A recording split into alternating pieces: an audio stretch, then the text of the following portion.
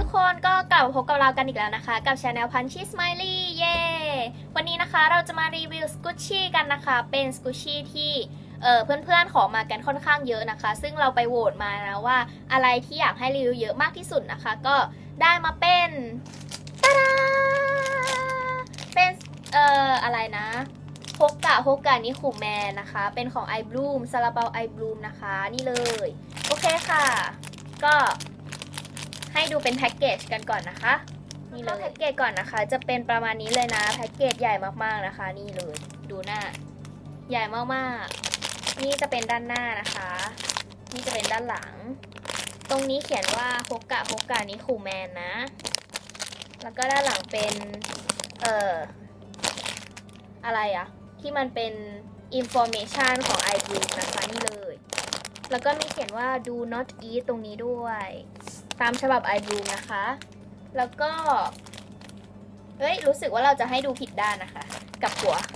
นี่ do not eat ตรงนี้เขียนว่า Squishy Japan นะคะ นี่เลย โอเคค่ะ ก็เดี๋ยวเรามาแกะแพ็กเกจกันเลยค่ะกลิ่นนี่จะบอกว่า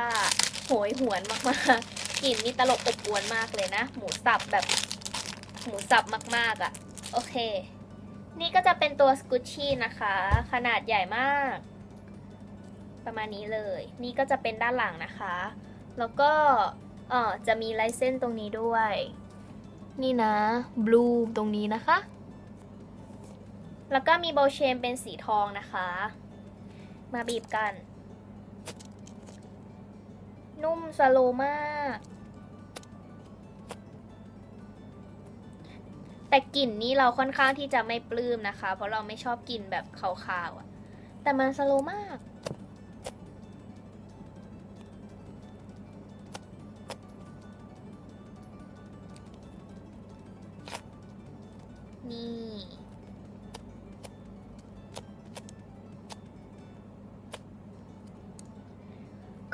เจ้าตัว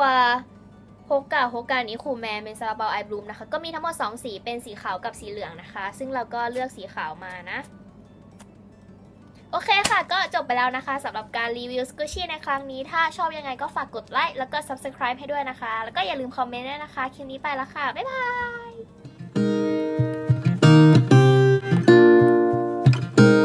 What do you